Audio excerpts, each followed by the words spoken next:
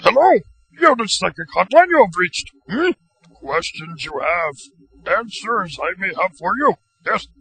Okay, well, um, I'm been married for about 12 years, and I have three beautiful children, and, uh, um, I guess my question is, um, I recently met a new woman at work, and it started as harmless flirting, but, uh, the other day we had sex on the copy machine, and now I'm, I'm thinking of leaving my wife for this woman. I'm just wondering your opinion if, if I should do that or not, if that's a good idea. Flirting. Never harmless. Much like sex on electrical devices.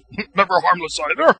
Well, we unplugged it first because we knew that way there wouldn't be any copies circulating around the office. But uh, that's besides the point. That's not really the question. I mean, I guess what do you, what does the the force tell you? Should I leave my wife? Hmm. Things bad enough at home they are for you to leave. Good, happy life with family, so you may have sex with woman on copier machine. Hmm? Well, life at home is it's just so repetitive. Hmm. Repetitive. Repetitive.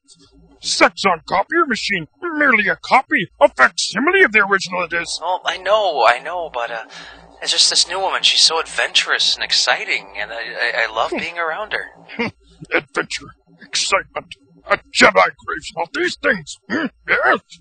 So you're saying that I should uh, I should stay with my wife and be miserable, and uh, not start a new life with this other woman and be happy for the first time in years. Uh, the future. Clouded by the dark side it is. Um, uh, breaking up you are. Uh, uh, must see, but, uh, bye.